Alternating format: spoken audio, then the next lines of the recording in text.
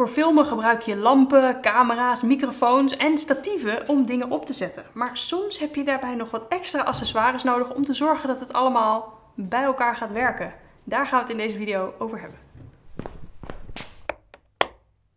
Hoi, ik ben Riske van de Videomakers. Op dit kanaal hebben wij het over het maken van betere video's en hoe je dat doet. Daarvoor maken we dit soort video's op YouTube. Word zeker even lid van ons kanaal, dan mis je er geen één meer. Ehm, en we hebben ook een website en daarop bieden we bijvoorbeeld uh, een nieuwsbrief aan. En als je daarop lid wordt, dan krijg je van ons een super toffe starterskit die wij gemaakt hebben voor als je gaat beginnen met filmen. Dus check dat zeker. In deze video wil ik het dus gaan hebben over wat we eigenlijk in filmland grip noemen. Grip, ja, het gaat erom dat, dat je dingen kunt grijpen, zeg maar, dat dingen vastgezet kunnen worden. En dat gaat er dus eigenlijk over op het moment dat je gaat werken met verschillende dingen op statieven. Camera's op statieven, maar ook lampen op statieven of microfoons op statieven. Uh, en er zijn heel veel mogelijkheden om die statieven en die lampen bijvoorbeeld goed op elkaar te kunnen laten aansluiten. Ik zal je even een voorbeeld geven. Ik heb hier eventjes een lampje bij gepakt. Uh, ter illustratie zet ik hem even aan.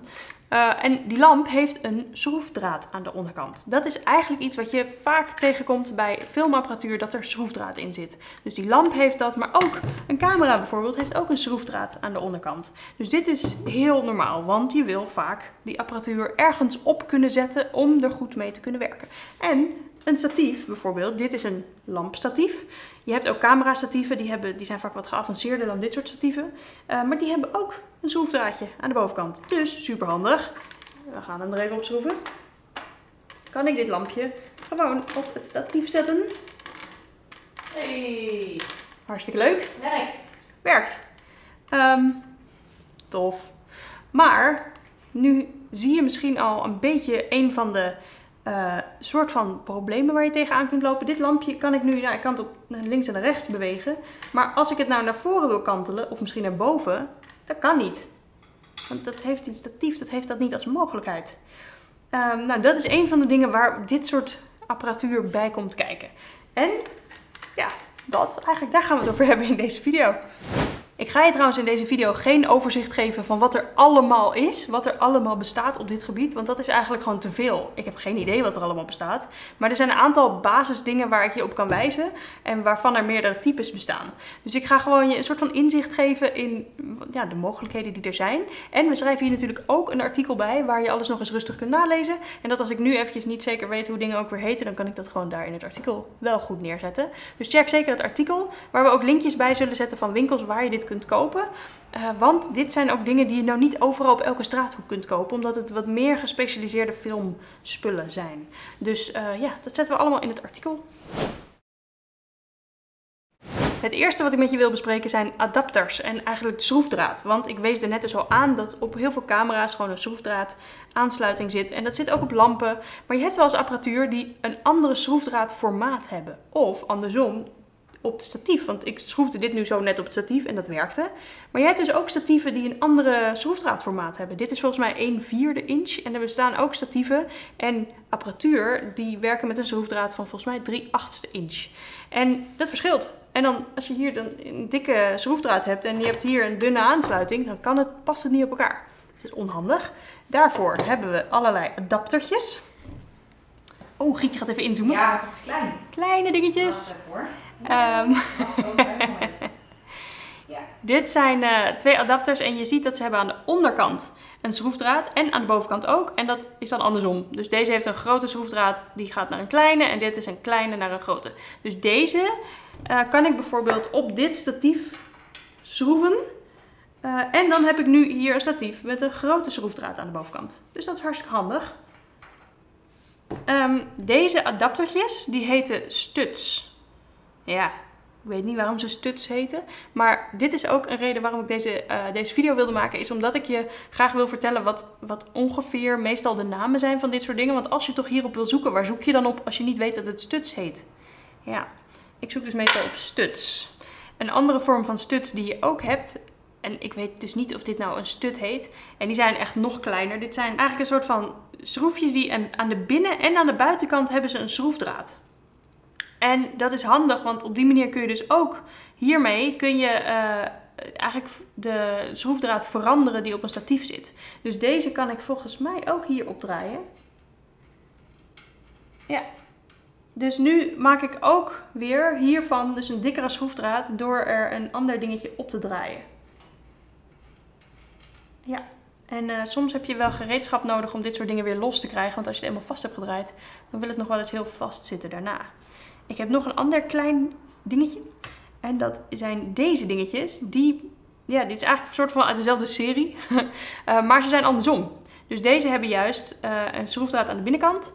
En die zijn ook, aan de ene kant is hij dun en aan de andere kant is hij dik.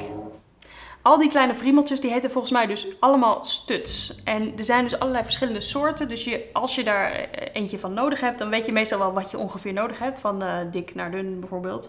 Uh, en dan kun je gewoon op de website kijken van volgens mij past dit bij elkaar. Deze kleine dingetjes die zijn overigens volgens mij iets van 1,75. En die wat grotere uh, die zijn ook niet super duur. Dus dat, dit is niet waar je aan failliet gaat bij uh, filmmaken. um, wat nog wel fijn is om te weten is dat ik heb dus hier nu twee uh, formaten eigenlijk laten zien. Een dikke en een dunne. En volgens mij, maar dit weet ik niet helemaal zeker, is dat er zijn ook in principe gewoon twee formaten. In filmapparatuurland kom je over het algemeen die dikke en die dunne tegen. Dus je hoeft niet te denken, oh, is dit nou precies de juiste dikke formaat? Volgens mij zijn er gewoon alleen maar twee soorten. Het volgende wat ik je wil laten zien zijn de klemmen. Want er zijn allerlei soorten klemmen en adapters. Uh, als eerste deze, want dit is eigenlijk denk ik de meest klassieke filmklem uh, die ik je wil laten zien. Dit is een superklemp. Zo heet deze. Ik weet niet waarom die super is, geen idee. Uh, je kunt hem uh, open en dicht uh, doen. Dan gaat zijn bekkie open. En je kunt je dus voorstellen dat je die ergens omheen kan klemmen. Dan ga ik je dat even laten zien. Bijvoorbeeld om een statief. Zo. En wat nu leuk is, hij heeft aan de onderkant een gat. Hij heeft trouwens ook een schroefdraad. Dat is, had ik niet eens nog bedacht. Maar je kunt hem dus ook gewoon hier bovenop schroeven. Maar hij heeft ook een gat hier. En wat je daarmee kunt doen, is dat je dus nog weer van dit soort oh, stutjes kunt kopen die daar dan in passen. Je moet dan zo'n knopje indrukken. Doe ik hem erin en ik draai hem vast. Um, en hier heb je dan weer een of andere schroefdraad, afhankelijk van welk stuk je hier dus in doet. En dan kun je daar dus weer iets op schroeven. Ja, handig. En nu zit een gat wat er hier zit, maar kijk, als ik omdraai, dan heb ik hier bijvoorbeeld hier een, uh, een schroefdraadje aan het eind. Dus dit is een manier om aan zo'n soort van stang zoals dit een, uh, iets op te kunnen hangen. En dan uh, zijn dit soort klemmen, die zijn heel fijn omdat Kijk, je hebt ook wel eens, volgens mij in uh, bouw, bouwmarkten heb je ook wel klemachtige dingen waar je bijvoorbeeld met een schroef iets aandraait. Maar als je iets aandraait met een schroef letterlijk op die paal, dan wordt het soms, dan kun je de paal mee beschadigen. En deze, omdat hij een soort van groot oppervlak heeft wat dan om zo'n paal heen zit, uh, beschadig je de paal er niet mee. Dus je kunt deze goed stevig vastdraaien en dan zit hij ook echt uh, goed vast. En dan durf ik hier best wel gewoon een grote lamp aan op te hangen. Ik heb nog meer van dit soort klemmen. Dit is nog een andere hele bekende. Uh, dit is eentje die we even van onze kantoorgenoot uh, geleend. Vindt hij wel goed. Uh, we hebben er ook eentje die we zelf heel vaak gebruiken. Eigenlijk in al onze video's. Namelijk die zit aan onze microfoonstandaard. En je ziet dat hij daar op het einde, hier zo, zie je hem zitten. En dat is dus deze klem die daarop zit. Dus die heeft aan één kant een ingang die je op statief kan zetten. Doen even wat omlaag. Zo, dus je kunt hem gewoon op een statief zetten. En aan de andere kant heeft hij dus een uh, rond ding wat je kan opendraaien. Zo. En daar kun je dus weer ja, uh, dingen tussen, tussen klemmen. En er zitten ook een soort van ronde openingen. Zodat je daar eventueel een soort van, als je een stok hebt zoals we hierboven hebben hangen. Dat is een uh, statief. Dus die kun je daar bijvoorbeeld tussen klemmen als je hem ver genoeg opendraait. En dan weer uh, dicht klemmen. Waardoor je dus uh, bijvoorbeeld een dwars, uh, dwarsbalk zeg maar, kunt maken op die manier. Ja, en deze dingen heten volgens mij grip head of ook wel gobo klem. Um, maar ik zie ze dus ook wel eens in verschillende webshops dat ze bijvoorbeeld swivel head heten. Maar dit is een beetje lastig, want die dingen hebben dus allemaal ingewikkelde namen. En niet alle webshops gaan ook hetzelfde om met die namen. Dus dat is nog wel interessant. Dus als je zoiets zoekt, dan uh, is dat soms lastig te vinden. Uh, ja, dus dan weet je dat alvast. Een volgende klem die ik wil bespreken. Dit is ook een hele bekende. En van deze ben ik dus eventjes zijn naampje vergeten. Mocht je hem weten, zet die eventjes in de beschrijving hieronder. Altijd leuk. Uh, dit is een bekende omdat hij gewoon... Je kunt dus dit doen. En dat kan heel leuk zijn, omdat, nou ja, dit, dit voorbeeld noemde ik eigenlijk al aan het begin van de video. Dat ik deze op het statief had gezet en hem niet meer kon draaien. Met dit kan dat dus wel. Dus ik kan deze op het statief zetten, want hij heeft dus gewoon uh, een ingang aan de onderkant waar je hem gewoon eroverheen kan duwen. Dus dat doe ik nu even. Zo. En dan hebben we aan de bovenkant heb je nog weer een gat. Dus daar moet je dus eerst iets in doen. Bijvoorbeeld weer zo'n stutje. Zo draaien we vast. En dan kun je daar die lamp op draaien. Gaan we even doen. Leuk dit, het is net Lego. Alles past op elkaar. Maar als je maar de juiste stukjes bij elkaar hebt natuurlijk. Ik doe dit onhandig. Oké, volgende tip. Draai eerst dit in de lamp. uh, om het jezelf makkelijker te maken.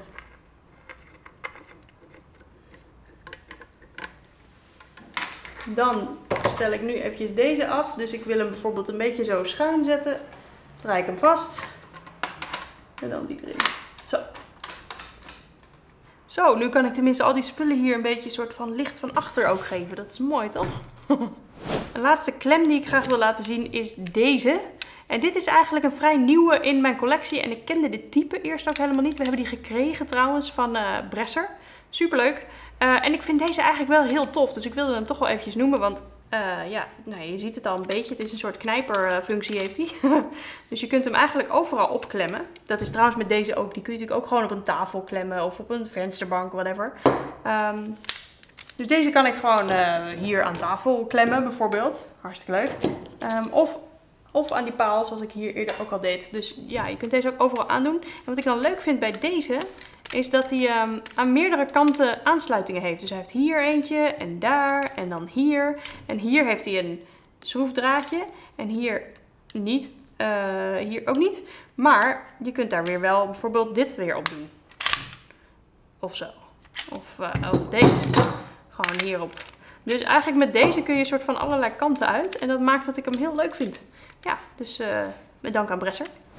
De laatste die eigenlijk onder klemmen vallen, en dit is een beetje een uh, vreemde eend in de bijt, zeg maar. Uh, dat zijn eigenlijk gewoon marktklemmen. Deze kun je dus wel, volgens mij, op andere plekken krijgen, ook dan filmwinkels. Maar ik merk dat heel veel filmmakers ook hiermee werken. Omdat, ja, je kunt er gewoon even iets mee vastklemmen. Waar ik ze wel in het verleden wel voor gebruikt heb, bijvoorbeeld, is toen ik nog wel eens filmde met een greenscreen, wat dan een doek was. En dan moet je dat doek natuurlijk een beetje spannen. En dat kun je doen met deze, omdat je hiermee goed uh, die greenscreen dan ergens aan vast kon zetten. Dus daarvoor vond ik deze dingen wel heel handig. Um, maar ja, je kunt het eigenlijk natuurlijk, ja, het kan altijd handig zijn, zo'n klem tussendoor. Dus die heb ik toch ook altijd wel in mijn set. De volgende die ik wil noemen zijn de, de, balhoofdjes en draaiopties, zeg maar. En dat, die zijn wat kleiner. Uh, ja, dit zijn gewoon kleine balhoofdadaptertjes. En wat leuk is aan deze dingetjes, is dat het um, uh, dus een balhoofdje heeft. Dus ik ga hem even losdraaien. Hij draait. Dat is handig. Dus ik kan hier ook bijvoorbeeld dat lampje opzetten. En ze hebben aan de onderkant een schroefdraad. Dus ik kan hem bijvoorbeeld hier opzetten. Dat is handig. Maar ik kan hem ook, uh, en dat is omdat ze vaak een schroefdraad hebben, maar ook een hot shoe adapter. Ik draai deze nu even los, want die kun je dan vaak eraf draaien. Uh, dus deze heeft ook, als ik die hot shoe adapter eraf haal, dan heb ik ook een statief gat weer. Uh, en ik doe hem er nu even op, want wat nou leuk is hiermee, is dat ik dit ook op een camera kan zetten. Want een hot shoe adapter, dat past dus op een hot shoe. Dit is een hot shoe van een camera. En je hebt dus hot en cold shoes. Hot shoes is eigenlijk het woord wat je gebruikt wanneer je ook data door die hot shoe de camera instuurt. Dus wanneer je bijvoorbeeld een flitser erop zet en dat als je een foto maakt in, met de camera dat de flitser automatisch meegaat. Dan gebruik je de hot shoe. Dit is eigenlijk een cold shoe, want er gebeurt niks. Weet je, er, gebeurt geen, er komt geen data doorheen. Maar je kunt hem er wel op zetten. Ik ga het even doen. Zo, dus nu heb ik een balhoofdadaptertje op mijn camera. Waar ik bijvoorbeeld een microfoon op kan doen of een lampje. Want soms is het ook handig om je lampje gewoon op je camera te zetten. Of wat dacht je van een monitor? Want wij gebruiken vaak een monitor bij het filmen. En dan is het ook fijn dat je die op de camera kan zetten met een balhoofdje. Dit is nog een andere variant van een balhoofdje. Dit is dan een klem met een balhoofdje erop. En dat heb ik ook nog wel eens handig gevonden. Want dit kun je dus eigenlijk ook overal aan vastklemmen. Ja, bijvoorbeeld. uh, en daar kun je dan weer ja, een lampje aan doen of een microfoontje. En uh, ik moet zeggen, deze klem kwam ooit met een soort rubberen dingetjes hierop, waardoor die beter blijft zitten. Dus ik moet zeggen dat ik hem niet super vaak meer gebruik, omdat ik merk dat hij vaak ook wel weer eraf glipt. Dus bijvoorbeeld dit, wat nu metaal is, dat werkt niet echt hierop natuurlijk. Um, dus daarom gebruik ik deze nu wel minder. Maar ik wilde hem toch even laten zien, omdat hij toch wel uh, op momenten handig kan zijn. En dan als laatste in deze categorie heb ik ook nog deze. Dit is een Magic Arm. En Magic Arms heb je in allerlei soorten en maten. Dit is een vrij kleine, maar je hebt ze ook nog wel nog kleiner dan dit. En je hebt ook ze zeker uh, op grotere formaten. En Magic Arm, nou ja, je ziet het, het draait alle kanten op. Het heeft hier een schroefdraadje, het heeft hier ook een schroefdraadje. Ik zal hem even helemaal losdraaien, dan, dan is hij dus echt helemaal flexibel. En uh, je kunt hem dus ook, je, je stelt hem af op een bepaalde stand. En dan draai je hem vast. Zo. En dan is hij dus helemaal vast. Dus dit kan hartstikke handig zijn. Uh, waar ik hem bijvoorbeeld wel eens voor gebruik is uh, op de FS7. Die heeft aan de bovenkant ook wat uh, gaten waar je die schroefdraad in kan doen. Dus ik kan deze bijvoorbeeld op de FS7 zetten. En dan hierop bijvoorbeeld een monitor doen. Of als ik hem in combinatie met andere dingen hier wil gebruiken, dat kan ook. Ik kan bijvoorbeeld zo'n stukje gebruiken. Die kan hier aan. En dan kan ik hem bijvoorbeeld met zo'n klem weer ergens aanhangen. Dus dat is hartstikke handig. En dan kan hier, ja, je kunt hier ook een camera op doen of uh, een lampje bijvoorbeeld. Uh, dus ja, ik vind die Magic Arms, die zijn altijd best wel geniaal. En uh, die kan ik je zeker aanraden om ook in je set op te nemen als je dat aan het bouwen, aan het samenstellen bent. Dan als laatste heb ik nog één ding wat ik hier heb uitgestald en wat ik nog niet genoemd heb. En je had het vast al door dat je dacht, wat staat hier voor een lelijke paal in beeld? Nou, dat is een autopol. En uh, ik ga je even vertellen wanneer je dat zou gebruiken. Namelijk, je hebt natuurlijk statieven. En die kun je gebruiken om een lamp op neer te zetten. Maar niet, in niet alle gevallen is dat handig. Bijvoorbeeld op het moment dat je heel weinig ruimte hebt en je hebt wel veel statieven nodig om dingen op neer te zetten. Dan zou een autopol handig kunnen zijn. Want kijk, dit heeft allemaal poten en zo. Dus kan, kan onhandig zijn. Uh, en ja, er zijn gewoon situaties waarin autopols handig zijn. Ik ga je even laten zien hoe die precies eruit ziet. En daarvoor uh, neem ik eventjes het geluid een beetje mee zo. Hop. Zo. Nou, dit is hem dan. Ik had hem alvast voor je helemaal klaargezet. Maar ik ga hem nu eventjes losmaken. Kijk, het is dus een, een paal met een verloopstuk waar ik hem korter en langer kan maken. Zie, dus ik kan hem helemaal super lang maken.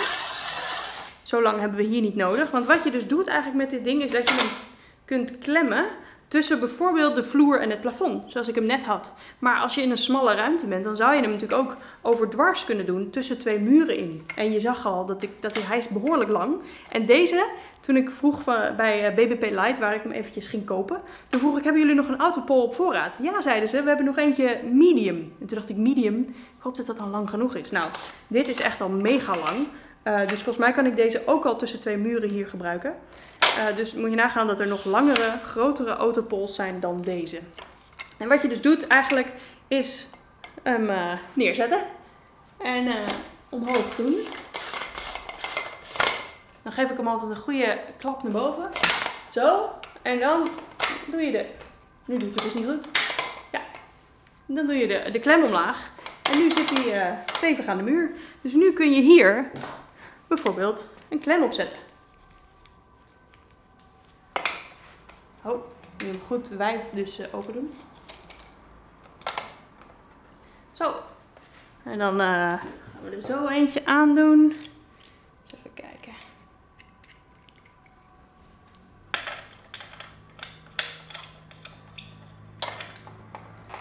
Zo. Nou. Ja, dan wil je natuurlijk, soms, soms gebruik je dus ook meerdere van dit soort uh, klemmen en zo bij elkaar. Want nu heb ik dan deze aan die autopol gedaan. En als ik nu een lamp eraan wil hangen bijvoorbeeld, dan heb je eigenlijk dus ook nog wel zoiets nodig. Omdat je hem natuurlijk wil kunnen zwenken. Dus je zou ook, ja dat, dat kan ook nog, je kunt ook zo'n balhoofdje natuurlijk eraan doen. zeker met zo'n klein lampje, zo'n balhoofdje echt wel prima. Maar als je een wat grotere lamp hebt, dan heb je op zich wel een zwaardere, zwaarder geschut nodig, zeg maar. Dan kun je dit gewoon weer hierop doen. Zo. En dan hem goed afstellen. Bijvoorbeeld, oh, even goed vastdraaien is. Zo, nu geeft hij bijvoorbeeld een mooi eh, achterlichtje op mijn haar, denk ik. Ik hoop het. Ik heb het niet heel goed afgesteld, denk ik. Ik moet ook even mijn microfoon weer terugdraaien natuurlijk. Zo. Hoppa. Volgens mij heb ik nu alles benoemd, in elk geval wat ik hier had liggen. Wat ik aan je wilde laten zien. Heb ik een mooi lichtje op mezelf op de achtergrond uh, gezet. Um, ja, je wil die eigenlijk natuurlijk niet in beeld hebben als je een serieuze video uh, gaat maken. Maar uh, dat is stof voor een andere keer. Ja, ik zoom er even in. Zoom je even in? Dan zie je hem niet. Nee, maar daar is mijn beeld ook niet minder mooi. Ah. Ik zoom hem toch weer even uit. We doen het gewoon met hem. Hij is mooi. Zie je, zoveel maken kan een heel gedoe zijn waar je op zit in te zoomen en uit te zoomen. En dan schuiven met statieven of autopols. Net zo lang zodat je het perfecte plaatje hebt gemaakt. Want daar is het uiteindelijk allemaal wel voor bedoeld natuurlijk. Dat je gewoon iets moois gaat maken.